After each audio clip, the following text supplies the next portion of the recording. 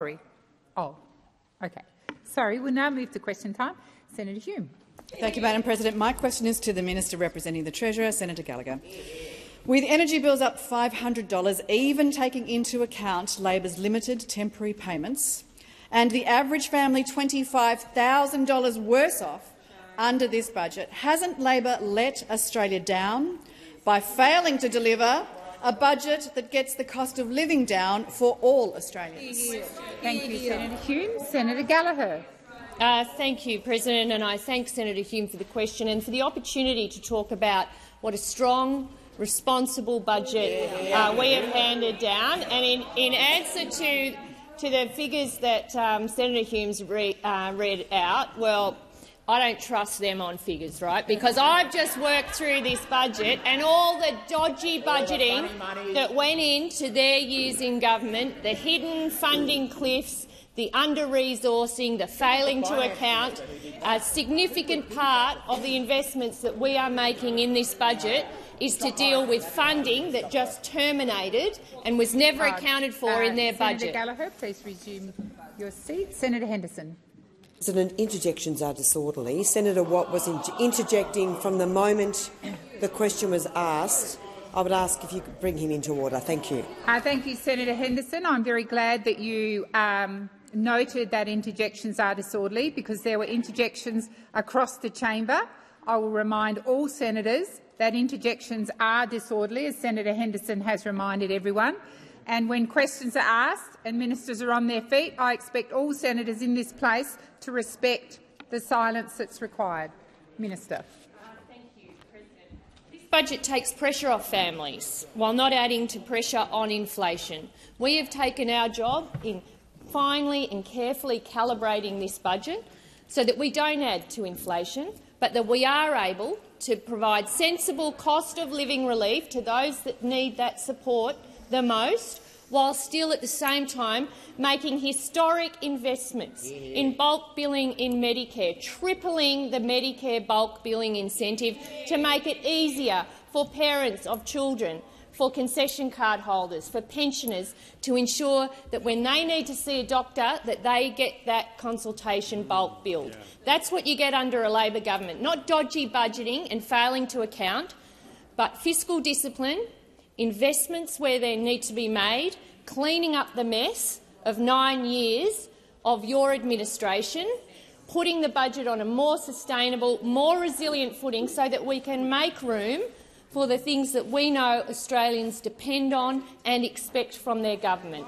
That is the approach that we took in this budget. I am very proud of this budget. Very proud indeed, because we have had to balance up a range of competing pressures to land a document that is right for the current economic challenges and circumstances we face. Thank you, Minister. The time for answering has expired. Senator Hume, first supplementary. Uh, thank you, Madam President. Why has the government removed the objective to tackle inflation from the federal budget papers? Thank you, Senator Hume. Minister Gallagher. Did you get past the glossy, Senator Hume? Right. Okay. It's run throughout Order. all of the budget papers. It was in the Treasurer's speech to the Parliament when the budget was introduced last night. It's in budget. It, it is filtered through every single Uh, Senator, document. uh, Minister Gallagher, please resume your seat. I'm asking for order across the chamber once again. Order on my left and my right. Minister. The, the Treasurer and I have been talking about the inflation challenge since we came to government.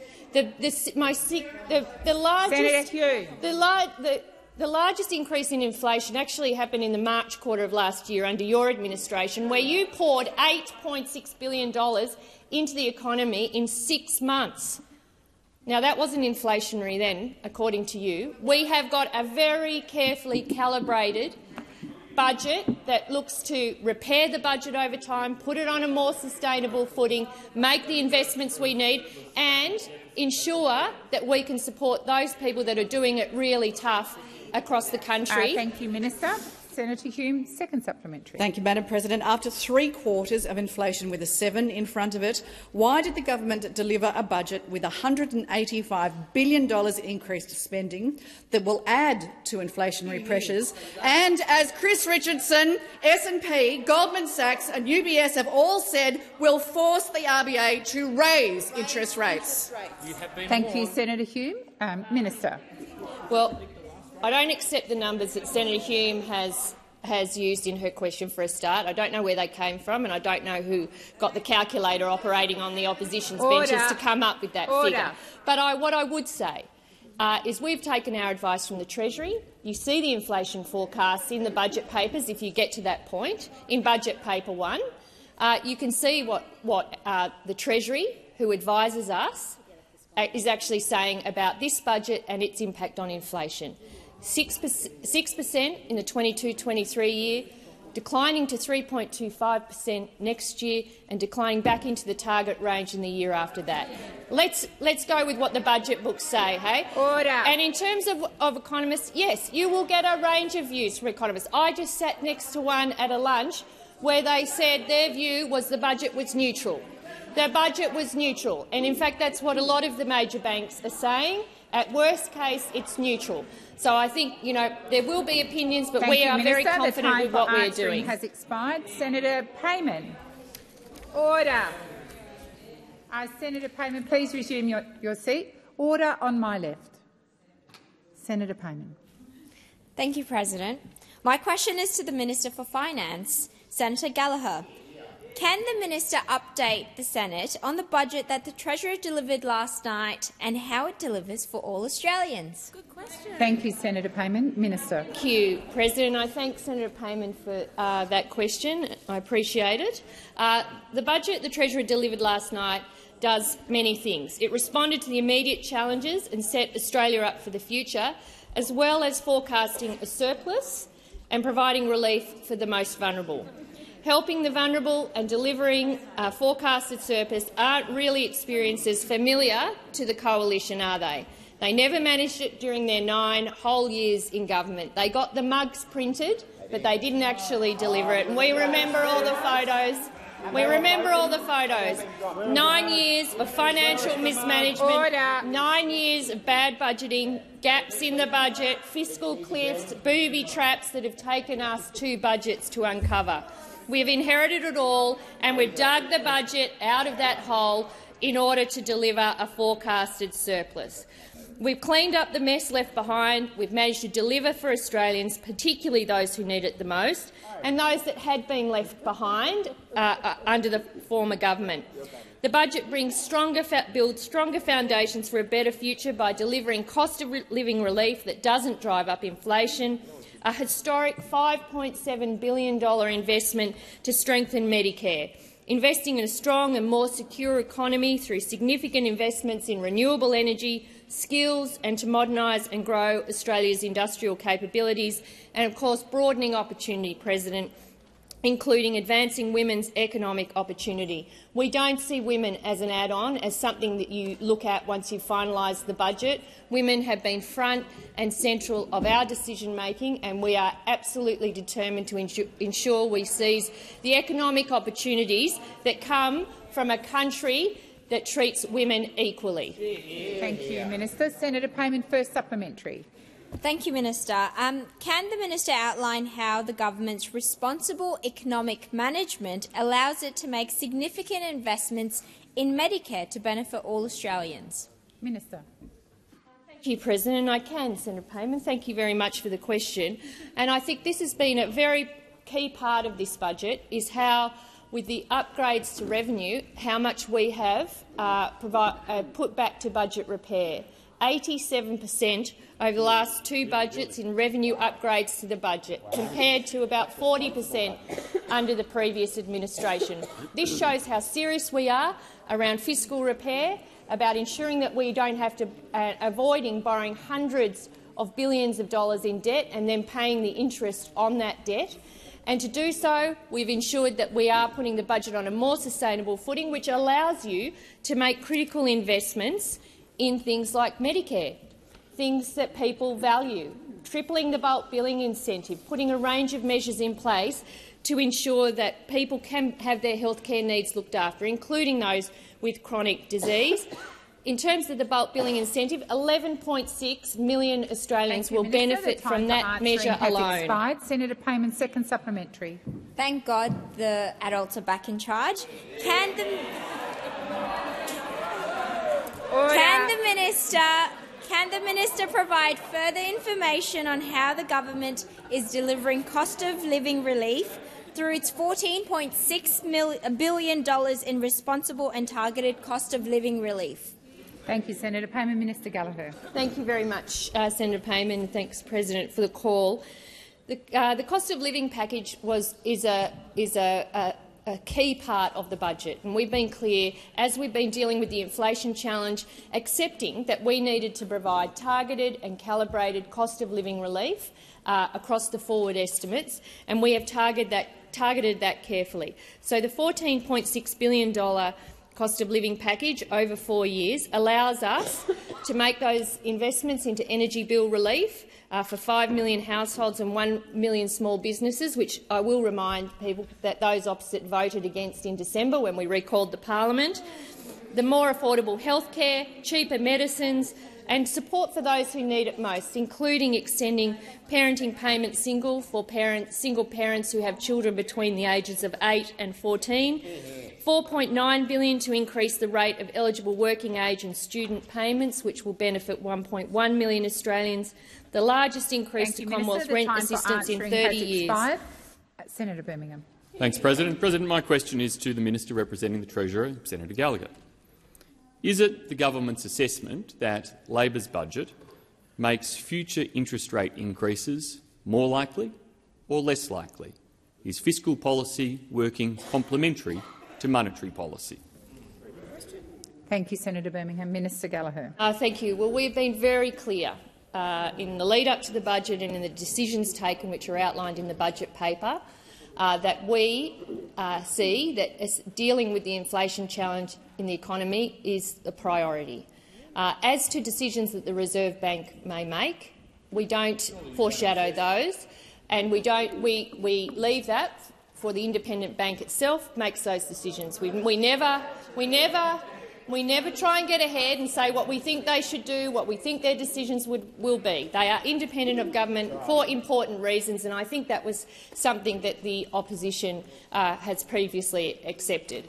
In terms of the, in terms of in terms of the inflation forecast, well, I'm trying to answer your question, Senator Birmingham. If you stop peppering me, um, well, in terms, in terms of the inflation forecast, you can see them in the budget. You can see them in the budget.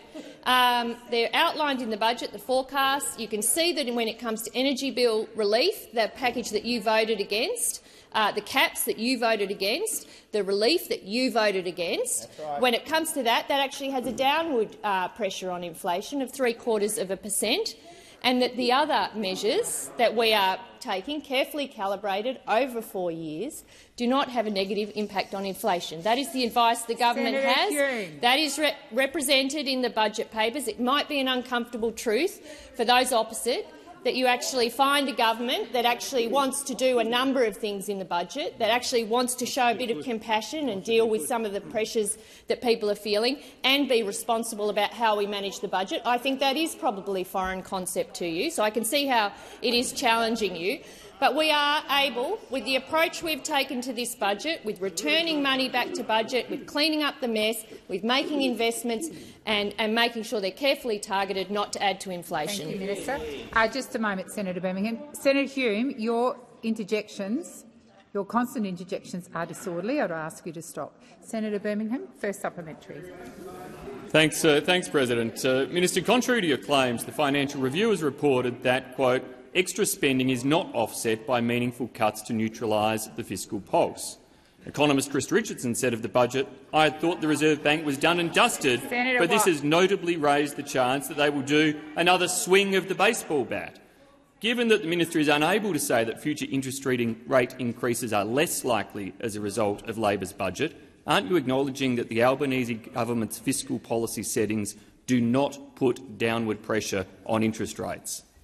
Thank you, Senator Birmingham. Minister Gallagher. Uh, President, it is uh, it is sort of amusing to me that Senator Birmingham is able to ask that question with a straight face. To be honest, after the work that I've done, having to clean up the mess of the previous administration, including including finding $40 billion in Order. savings. $40 billion in savings in two Uh, budgets. Gallagher. and what happened in your last Minister, budget? please resume your seat. Order on my left.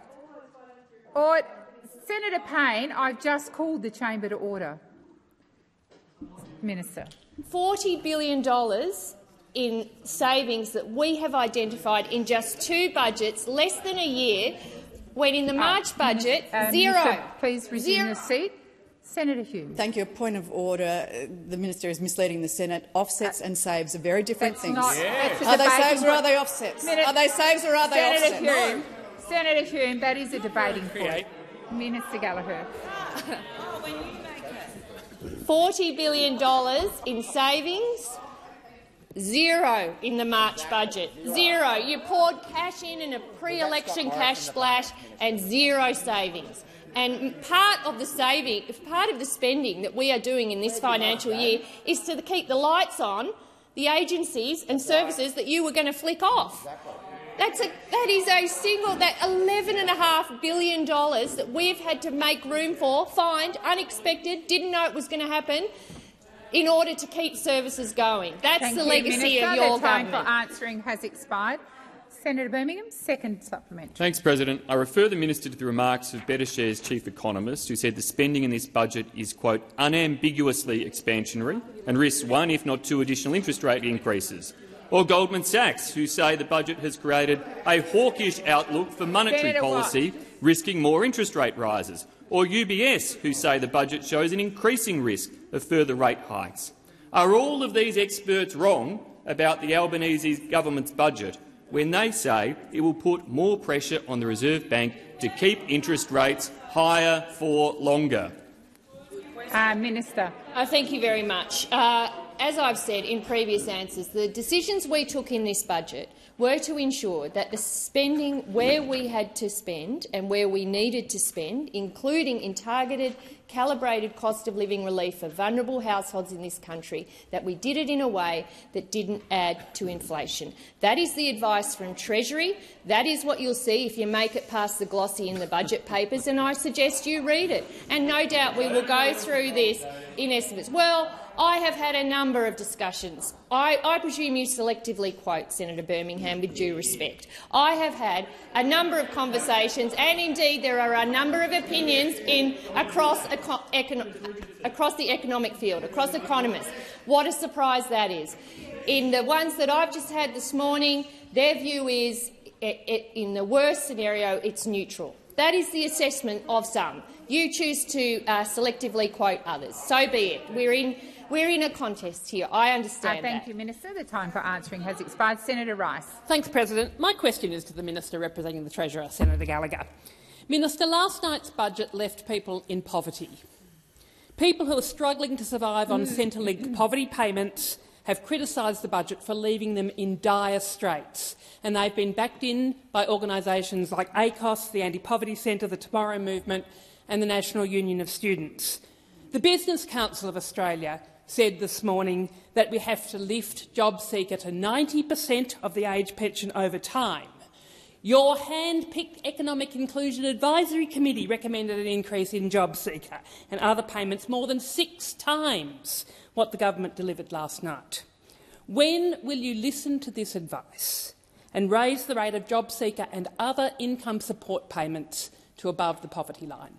Thank you, Senator Wright. Minister Gallagher. Uh, thank you, President, and I thank Senator Rice for the question, and it's an important question, but I would also say that welcome to the Senate. We have questions here, we're doing too much and we're fueling inflation, and we have questions here which are saying you're not doing enough and you should triple or indeed uh, progress it more than that. I mean, I think that makes the point the Treasurer and I have been trying to make for some time, is that this, this budget is been balancing up a range of decisions Senator Ruston. Based on the economic circumstances of the time. We have high inflation. Our spending has to be calibrated, it has to be careful and it has to be targeted. And so when you look at the work that we've done in just this budget, or even if you attach it to the October budget, to look at what we've been doing, making gradual and pro gradual progress towards addressing some of the needs uh, that have been left to us by those opposites' failure to deliver, and some of uh, the work that we know needs to be done because we're Labor people. And you'll see that in this budget. You'll see it in the childcare investments. You'll see it in the cheaper medicines. You see it in the Medicare. You see it in the investment in skills. You see it in the growth side of the budget. And you'll see it on the compassion side of the budget in relation to uh, social security and payments. A significant uptick for single-parent parenting payments, significant. An increase to the base rate of job seeker, an increase for the, the most significant increase to Commonwealth rent assistance seen. All of this working together to make sure that for those who do need an extra helping hand, we are giving them an extra helping hand. These have been difficult decisions to land. Some say it's too much, others say it's not enough. But I think you can see the genuineness with the approach that the Albanese government has taken. When we said we would assess payments, we would do what we can to adjust them in every budget, we've been doing that. We've been doing Thank that you, work. Minister. The time for answering has expired. Senator Rice, first supplementary. Minister, as for your compassion, last night's budget gave people living below the poverty line an increase of just $2.85 a day, which won't even cover the cost of a loaf of bread. But it gave billionaires and politicians almost 10 times more, with the stage three tax cuts giving every one of us here $25 a day or $9,000 a year. Why do us politicians need $9,000 a year in tax cuts while job seekers are left on poverty payments? Thank you, Senator Rice. Minister Gallagher. Uh, thank you, um, President. And I would, again, to Senator Rice, uh, say that the, the cost of living package, which is targeted and was carefully calibrated so as to be affordable and sustainable going forward, not add to inflation, but also see it in the context of a range of other me measures. The energy bill relief, for example, the efforts that we're putting in for cheaper medicines, the efforts we're putting into urgent care centres and bulk billing rates so that people on payments can actually access bulk billing health care. We know that that's a problem. So I don't think you should see one payment in isolation of all of the other work that's been done in this budget. On top of that, we've found $4 billion for the community sector indexation, providing services to people, many of whom are on payments. $4 billion. Do you think that mob would have ever done that? Never. I mean, these are the difficult decisions we've taken. It's carefully calibrated Thank and you, it's Minister. the right thing the to time do. for answering has expired. Senator Rice, second supplementary. Thanks, President. Um, last night's budget sets out a $4 billion surplus. You can't eat a surplus. Why have a surplus when you've still got too many Australians living in tents and cars, trying to survive on one meal a day and not able to afford critical medications? Order on my right. Minister Gallagher. Uh, thank you. Well, being in government means you have to do a range of things. One of them is repair the budget. We have to repair the budget so that we can ensure that as needs grow, and we know they are growing, as pressures on the budget increase, we have room to meet those pressures, be it in climate policy, be it in social services, be it in investments in women, be it in investments in housing. All of those pressures are going to have to be met. So we have to get the budget on a better footing. We've also avoided borrowing hundreds of billions of dollars to pay for our services, avoiding interest payments on that debt, which again makes a difference to find room and create room for those people that we want to invest in and for those programs we want to invest in. In terms of this year, when the payments come in, in sorry, in the next financial year, when the payments come in, there is a deficit. The budget is in deficit in, three of the, in four of the forward estimates years. And so budget repair remains a challenge. Finding room to do good things for Thank good you, people Minister. is also a priority. has priority. expired. Senator Marielle Smith. Uh, thank you, President. My question is to the Minister representing the Minister for Social Services, Don Farrell. Oh, sorry, Senator Farrell. uh, Minister Farrell, indeed. When Minister, we know that Labor created the welfare system and has been a champion of strengthening Australia's social security safety net. Can the minister outline how the Albanese Labor government is continuing to strengthen the safety net through measures in the budget to support Australians doing it tough? Thank you, Senator Smith. Uh, Minister Farrell. Thank you, thank you, President. And can I thank uh, Senator uh, Smith for her uh, question and the great job that she's uh, doing for the people of South Australia. And I can answer her question. Um, this government, but particularly that terrific uh, Minister Rishworth, understands that many Australians are doing it tough. We know that households are feeling the pinch as a result of cost of living pressures.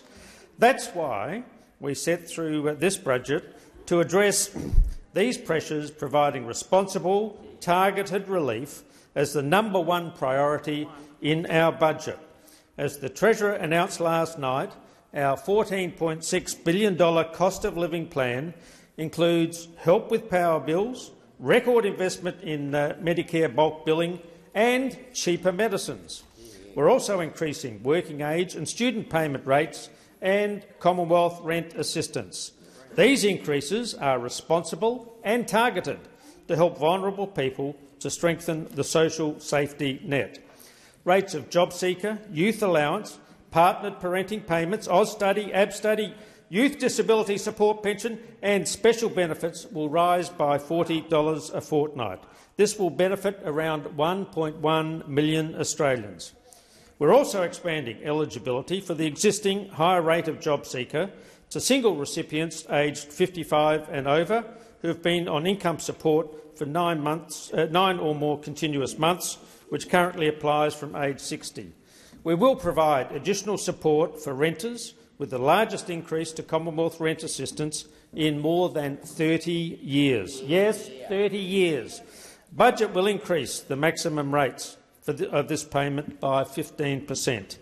Combined, these changes provide additional support to around 2 million people. They provide responsible, balanced support to those who need Thank it you, most. Minister Farrell. The time for answering has expired. Senator Smith, first supplementary. Thank you, Minister, and uh, please feel free to call me Marielle.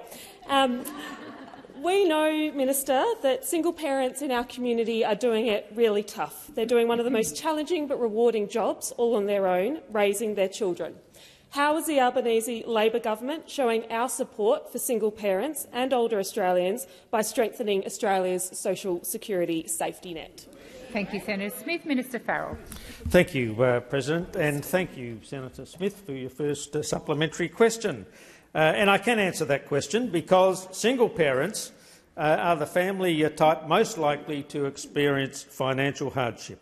It can be tough for these parents, who are overwhelmingly women, to balance caring responsibility and full-time work, studying or looking for work. This doesn't end when the child turns eight. With the government's changes announced in the budget, which expand eligibility for single parenting payments to parents with the youngest child under 14, more than 57,000 single parents will be better off by at least $176.90 per fortnight. Similarly, we know that older Australians face barriers uh, when they're looking for work. Our changes expand access to existing uh, higher rates of job seeker for those on payments of nine months or more, uh, or those over 55. This acknowledges their circumstances and provides greater financial support while they look for work. Senator Smith, second supplementary. Minister, how will young people benefit through the strengthening of Australia's social security safety net? Minister Farrell. Thank you, uh, President, and thank you, Senator Smith, for that second uh, supplementary question. And I know this is a group of people you have uh, very deep interest in, and our government understands the unique challenge that young Australians are facing, and we want to ensure that young people are set up to succeed. Students and young people will benefit from Labor's changes to payment rates, with 318,000 young people on income support including those on youth allowance, receiving an additional $40 per fortnight.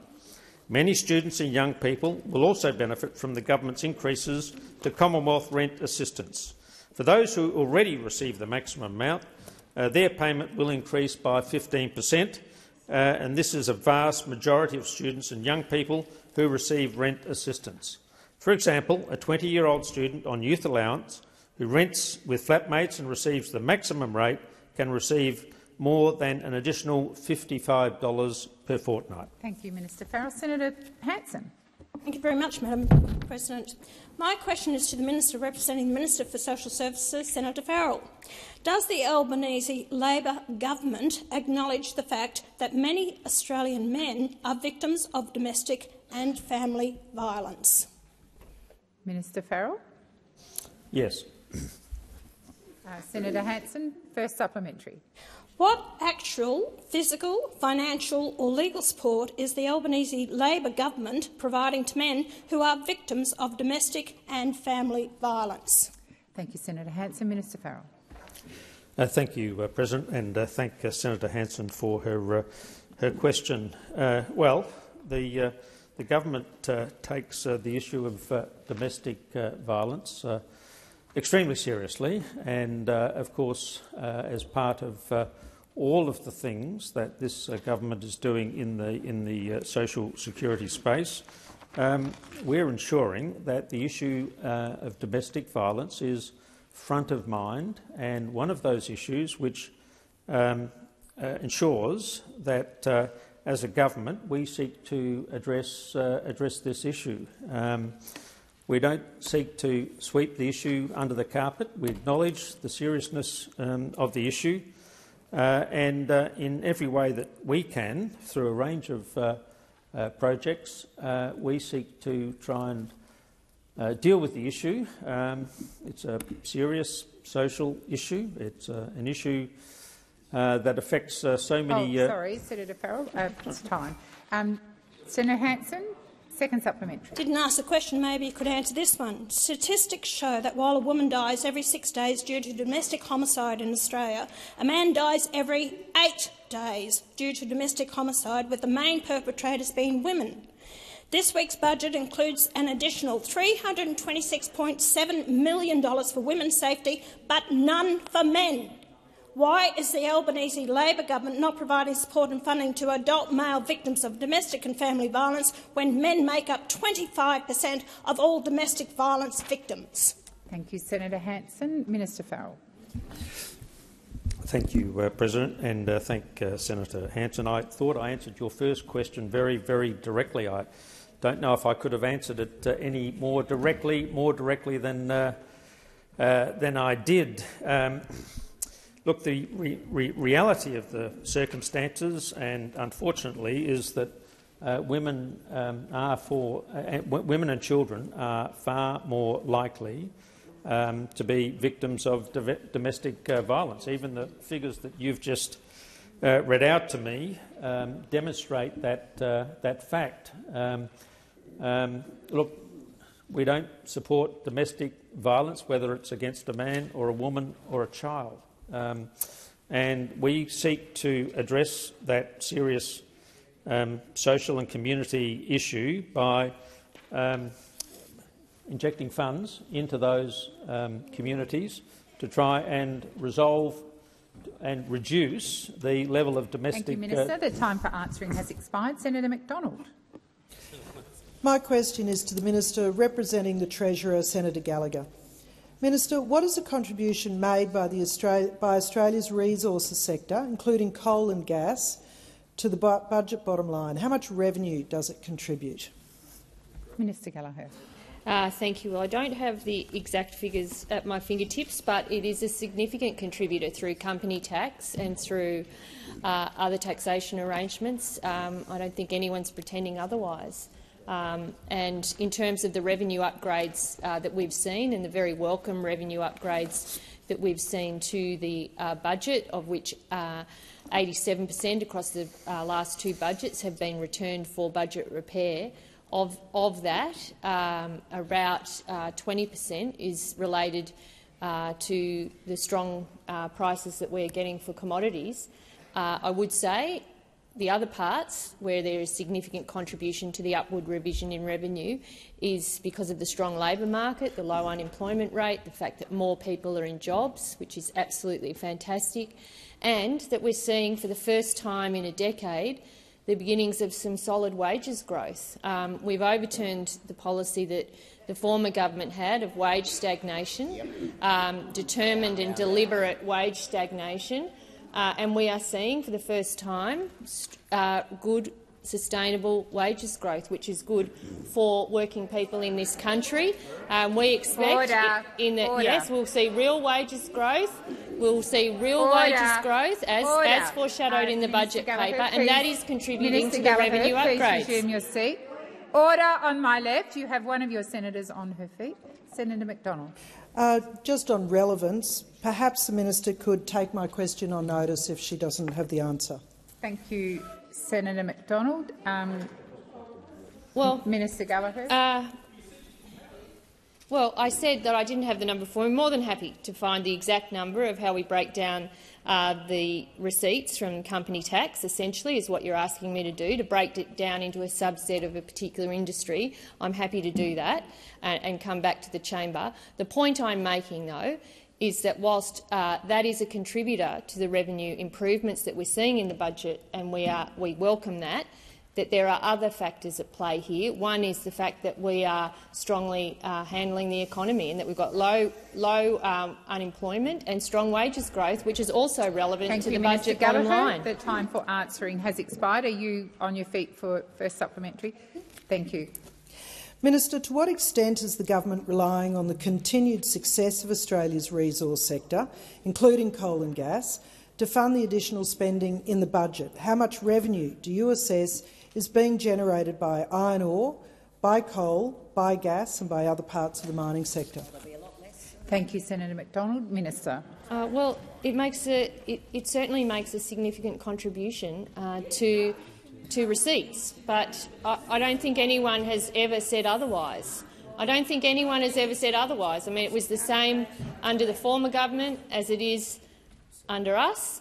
Uh, we've outlined some proposed changes around PRRT going forward, but we haven't, made, we haven't changed any of the uh, revenue uh, arrangements uh, that operated under the former government in relation to um, taxation of, of those companies that you talk about. Um, and I hope that with PRRT that we would have your support for those changes when they come through this.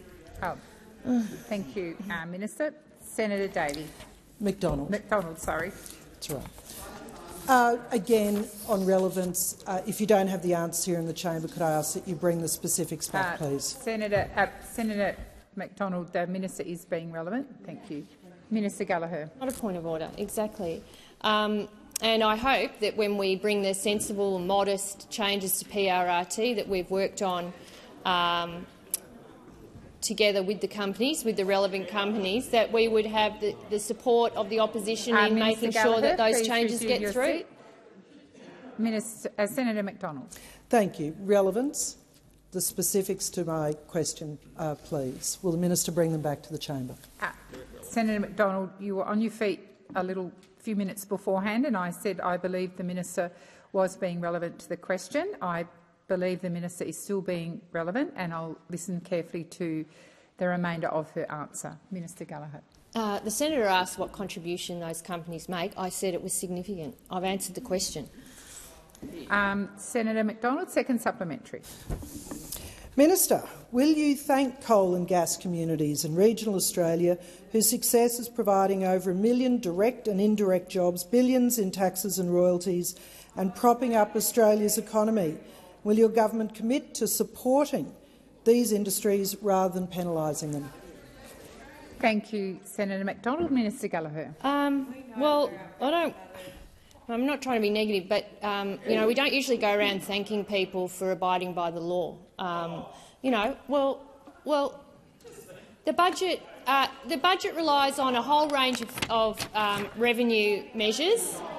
Uh, the whole range of rev- revenue measures across the board. I am very happy to thank across the board every part of the economy that contributes to uh, generating revenue that allows us to provide the services that we need to the Australian people. Uh, Very Minister happy Gallagher, to do that. Please resume your seat. Order. Minister, please continue. Um, Well, I think I've answered the question. In terms of all the revenue that comes to the budget, I am deeply thankful as the finance minister. I can tell you, if we didn't have that revenue, then we would be in a very difficult position Uh, about Minister ensuring Gallagher, we're funding please services. resume your seat. Senator McDonald. Just on relevance, I'm wondering if you can say coal and gas. Uh, Senator McDonald, that's not the minister. Order on my order. Senator Watt. Senator Watt. Senator Watt, I am addressing a point of order. The minister is being relevant. Senator McDonald, minister, please, as minister, please continue. Pleaded my answer, and I know what the game Senator McDonald's trying to play and being divisive because it's a common tactic. I've already acknowledged the significant contribution that those industries play in generating revenue for the budget. I have done that, Senator McDonald. I hope it makes you happy. Thank you, Minister. Senator Thorpe. Thank you, President. My question is to the Minister representing the Attorney-General, Senator Watt. We are in a black deaths in custody crisis in this country. The Royal Commission into Aboriginal Deaths in Custody recommendations clearly outline the importance of Aboriginal legal services and the need for adequate funding for those as per recommendations 226G and 234. Instead, First Nations legal services are breaking under the demand they face, and some have had to shut down to cut their services due to underfunding. My question is, why aren't you funding Aboriginal legal services? Thank you, Senator Thorpe. Minister Watt. Uh, thanks, President, and thanks, Senator Thorpe, uh, for this important question. I guess the short answer, Senator Thorpe, is that we are funding Aboriginal and Torres Strait Islander legal services, and that's because we recognise the importance of funding those legal services as Aboriginal community-controlled providers of culturally appropriate legal assistance services. Um, and as I think you're aware, the Attorney-General himself has very extensive experience, including in his pre-parliament career in working with those legal services. So I know that he's a strong believer in them. Uh, in terms of the funding that we're providing, we are of course continuing funding that already existed under the National Legal Assi Assistance Partnership, uh, which lasts until 2025. Over the life of that agreement, that partnership provides over $440 million over five years in baseline funding for Aboriginal and Torres Strait Islander legal services. Additionally, those legal services also receive over $11 million over five years in quarantined funding for the Justice Policy Partnership and expensive complex cases and coronial inquiries funding.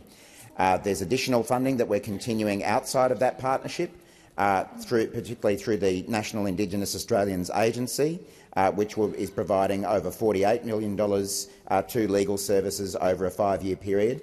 And in fact, our last budget in October uh, provided additional funding, $13.5 million over three years from 2022-23, in additional funding to Aboriginal Torres Strait Islander uh, legal services to provide culturally appropriate legal assistance for coronial processes, and $1 million over three years from 2022-23 to build capacity and support leadership uh, of the peak body uh, for those legal services. But we recognise that there, are, there are, remain serious issues here, and it has been concerning to hear about service delivery freezes and closures across some of these legal services, uh, and perhaps I can provide a bit more information about what we're doing on that front following your next question. Thank you, Senator Watt. Uh, Senator Thorpe. Thank you, President. Thank you for your response, Minister. The government claims to be closing the gap, but incarceration rates are going up. Without legal support, it is certain many more of our people will be locked up. Why does your government want to lock more of our people up, which will inevitably lead to more deaths in custody? Thank you, Senator Thorpe. Minister Watt. Um, thanks, Senator Thorpe. And I think that is an unfair uh, suggestion to make of the government, a government that is deeply committed to reducing Indigenous incarceration uh, and deeply committed to closing the gap, including uh, making sure that we have a voice to parliament to allow and permit, uh, provide uh, First Nations people with an opportunity uh, to provide their views to this parliament about these matters. Now, as I've said, uh, the Attorney-General has been meeting with Aboriginal and Torres Strait Islander legal services for some time. And in those meetings, he's heard directly about the positive impact that those legal services can have on Aboriginal people's lives, their families and communities. As I say, we have been concerned to hear about service delivery freezes and closures across these services, and we understand that funding for the services much ma must match the high demand for services, both legal and non-legal. That's why we've commenced an independent review of the National Legal Assistance Partnership, which provides the bulk of these legal services funding. That will start shortly and be completed by the end Thank of the you, year. Minister. The time for answering has expired. Senator Thorpe, second supplementary. Thanks, President. The budget contains some funding for family violence prevention services for First Nations survivors of family, domestic and sexual violence. Minister, how much of this funding will actually go to Aboriginal legal services? Thank you, and Senator. I did give you the heads up on this one. Thank you, Senator Thorpe. Minister Watt. Thank you, Senator Thorpe. I wasn't going to reveal that you'd given us the heads up, uh, uh, but, uh, but, but thank you for doing so. I appreciate the opportunity to provide you with a, uh, a decent answer, and I invite the opposition to give us a heads up about any questions as well, so that we can provide you with full and frank advice as well.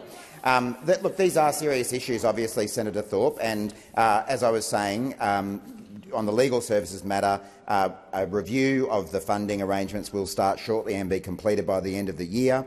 That will include an assessment of unmet legal need and demand for disadvantaged groups across regional, rural and remote Australia. And I have no doubt that it will look at some of the issues that you've been raising, including in relation to family and domestic violence. The review will also specifically look at options for alternative funding arrangements for these legal services. The Attorney-General's Department is working closely with states and territories to support the continued provision of frontline services to First Nations people, uh, and I know the Attorney-General is personally Minister, committed to please this. resume your seat. Sen uh, Senator Thorpe. President, the question was how much of the family violence money goes to Aboriginal legal services. That was announced last night. So how much of that is going to Aboriginal legal services? Thank you, Senator Thorpe. I'll direct the minister to that part of your question. Minister. Um, I'm, I'm happy to come back on notice with the specific answer to that question, but uh, the Family Violence Prevention Legal Services uh, in the Northern Territory also provide an important role, and we want to make Thank sure you, that they're Minister adequately Watt. The time for uh, answering has expired. Senator Ciccone. Thank you very much, President. I'm, I'm really excited to be asking my question today. Really excited.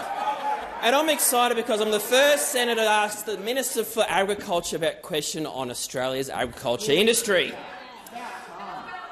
Minister, I've learned that Australia has never had sustainable and predictable biosecurity funding.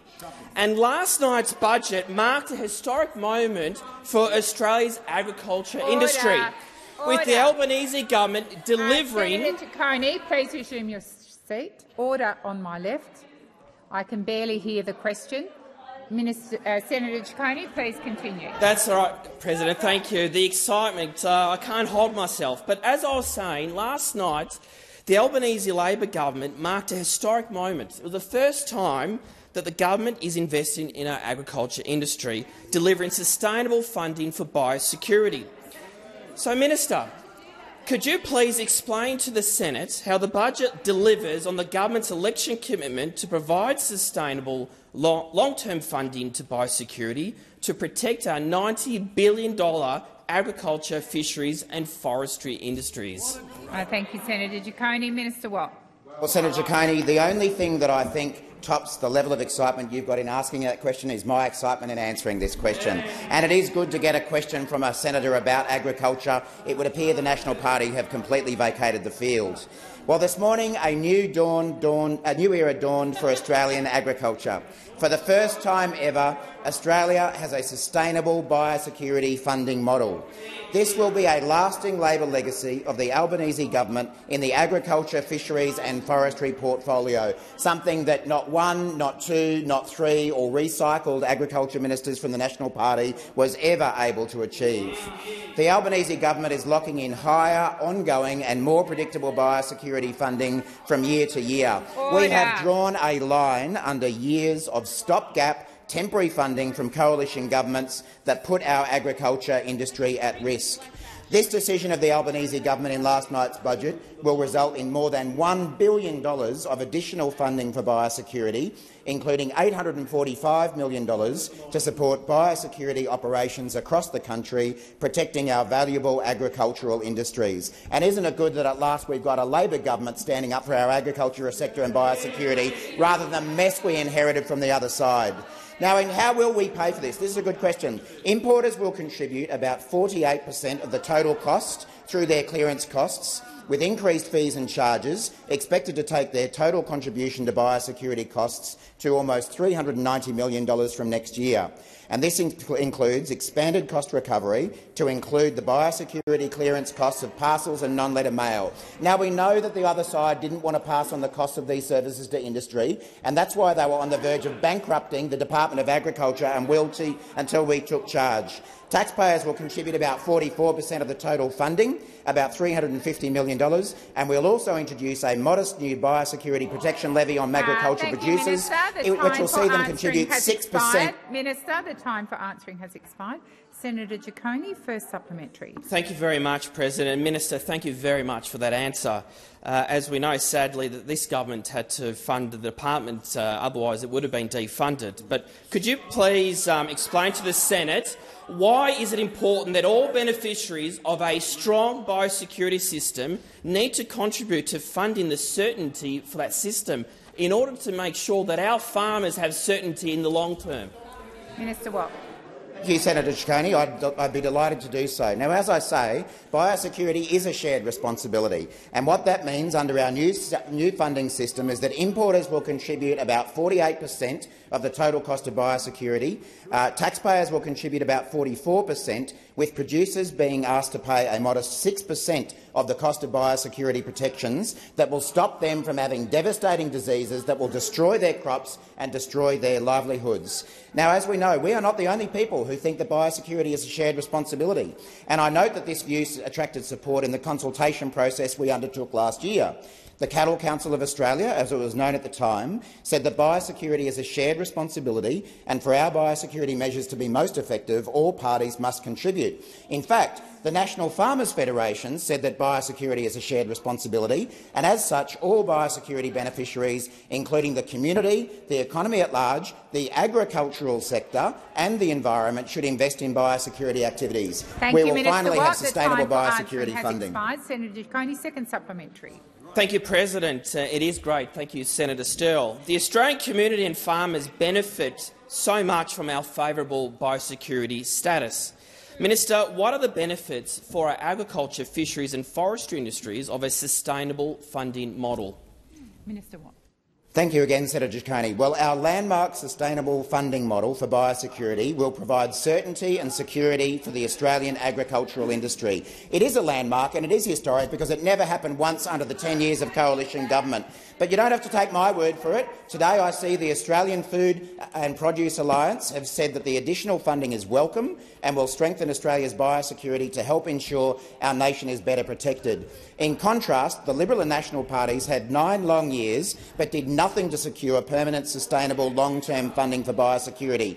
But their incompetence on these matters went beyond that a conga line of incompetent and economically illiterate National Party agricultural ministers left us with funding cliffs in vital frontline areas that would have Order. seen biosecurity funding fall by nearly 20 per cent this year if we hadn't acted. They failed to maintain the integrity of cost recovery. They said they'd introduce a container levy. They backed down under pressure, and then they went out to send out the department to explain it.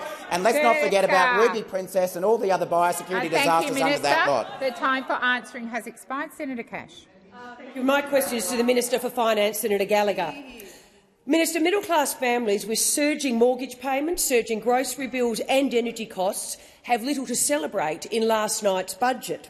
Labor's budget confirms cost of living continues to go up, gas and electricity bills continue to skyrocket, real wages have not grown, inflation remains stubbornly high, unemployment will rise and Australians will pay higher taxes. Given that under Labor's budget, a family with kids will be around $25,000 worse off, why is Labor making life harder for middle-class Australians? Thank you, Senator Cash. Minister Gallagher. Thank you, President, and I thank the, uh, Senator Cash for the question, and I reject. Uh, I, I, I, completely reject the numbers that she has outlined. Uh, Minister, Minister, please resume your seat. Senator Sterle and Senator Cash, interjections across the chamber are disorderly. Minister Gallagher. Thank you. I think I think the um, I think the opposition has had to dust off their dodgy calculator that they used to put budgets together in the past to come up with this set of numbers that they keep shouting across the chamber. This budget is a very strong budget for all Australians, for all Australians, and we don't seek to divide as you do.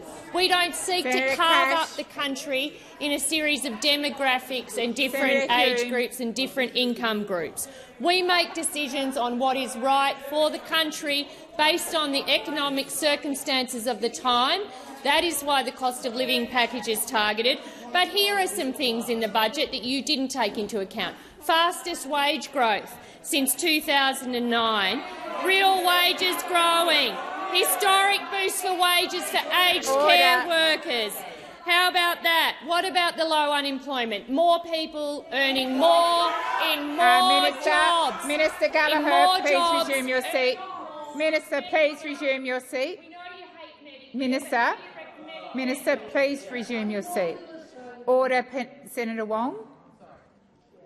Again, particularly the interjections and the disorder on my left but and on my right is disorderly. The minister is entitled to answer to have her answers heard in silence. I would ask the interjections cease. Minister, please continue. Uh, thank you.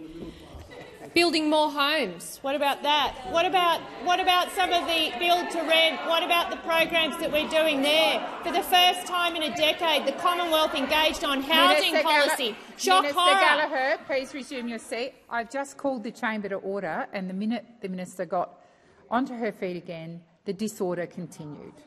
I, Senator Ruston, Minister Gallagher, please continue. Minister, I'm not a true Goldilocks. Order. Please continue. Ruston. Minister Gallagher, I've, I've asked you to Yeah. continue.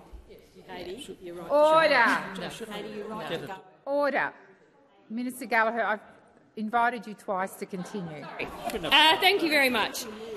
The work that we put in place, caps on the uh, putting caps on energy prices that you voted against. Look at what that says in the budget paper: a 25 per cent reduction in what people will spend on their energy bills, on their electricity bills, and you voted against Order. it. What about the jobs to be generated in the energy transition, net zero economy, the investments we're making uh, to drive those opportunities? Minister what about them? You voted no to Minister those as Gallagher, well. Please, order again.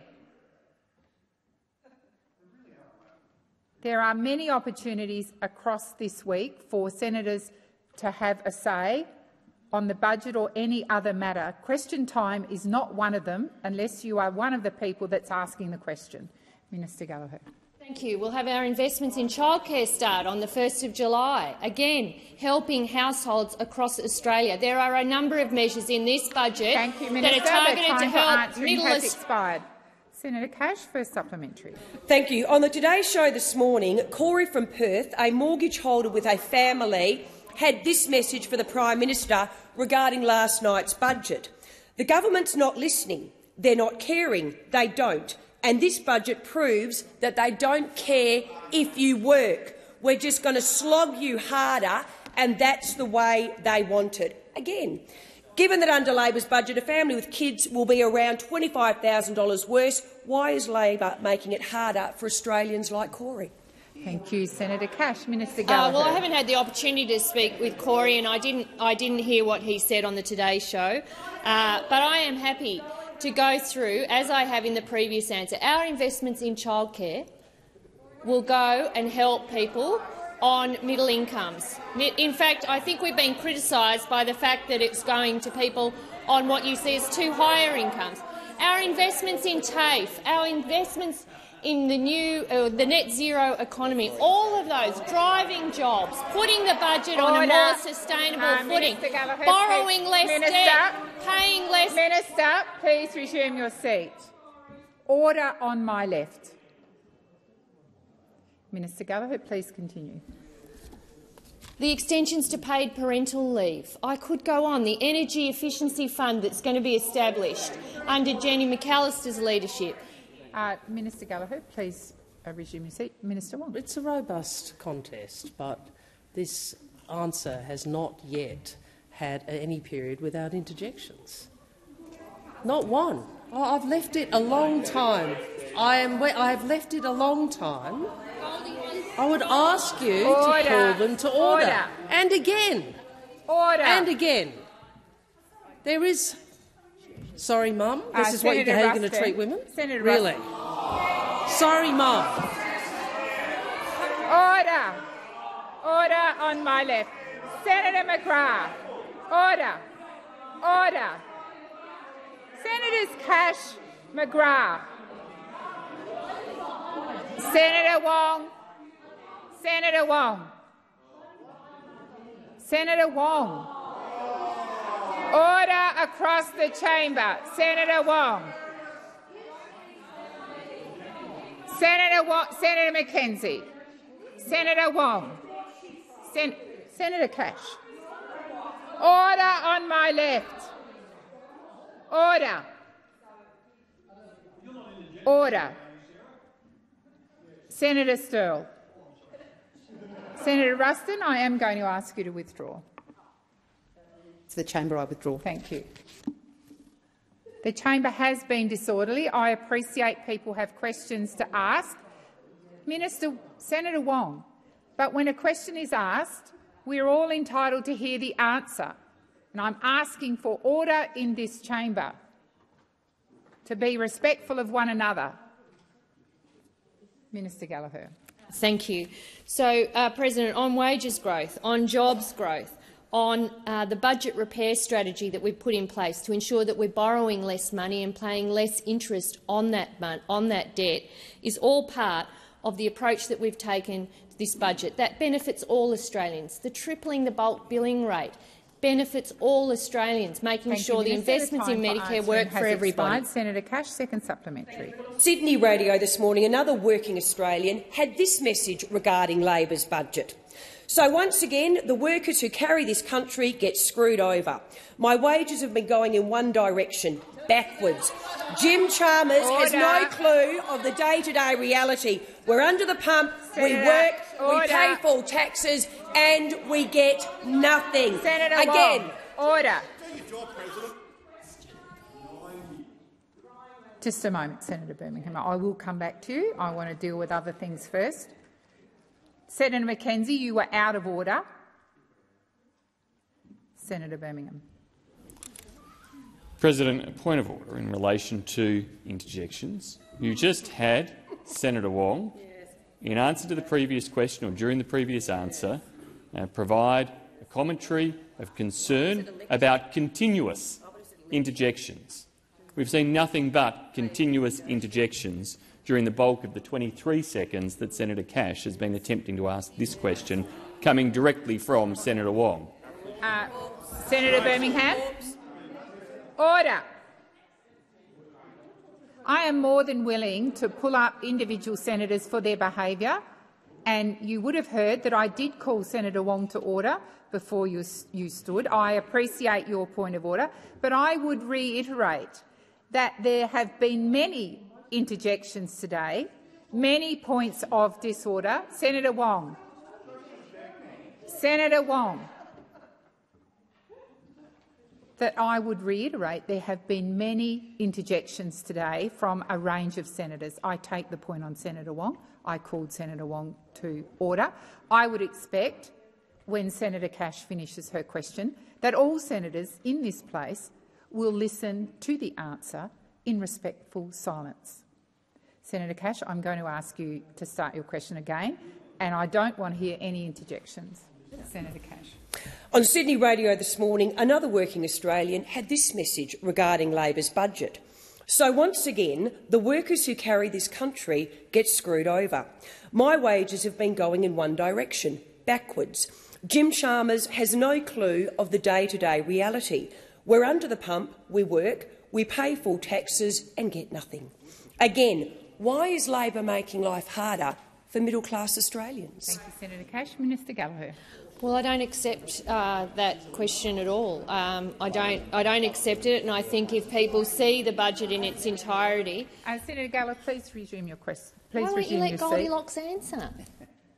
I have just asked the Senate to listen in respectful silence. Senator Cash was able to ask her question in respectful silence.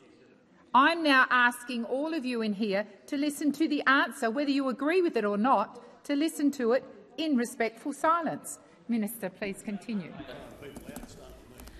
Uh, thank you. And, and uh, Senator Cash's question included a reference uh, to uh, the young man's uh, wages and how he'd been feeling the pinch on wages. We agree. That's why the industrial relations changes we put through this parliament, more jobs, better pay. You opposed it. You opposed it. You opposed improvements to the industrial relations system that would allow workers to get a better crack at wage opportunities through the bargaining system. You've opposed our position on arguing for wages growth on the minimum wage through our minimum wage cases. You didn't make the commitment to fund the aged care workers' wage claim, 15 per cent in this budget, found room for it, on top of all the other things we had to do. We're absolutely determined to get wages moving, and this budget shows that they are. They, we will have real wages growth Thank faster you, Minister. than The had time for previously been answering expected. Has expired. Senator Wong. Thank you, President. I ask that further questions be placed on notice. Senator Farrell. Thank you, uh, President. In uh, question time on the 28th of March 2023, I took questions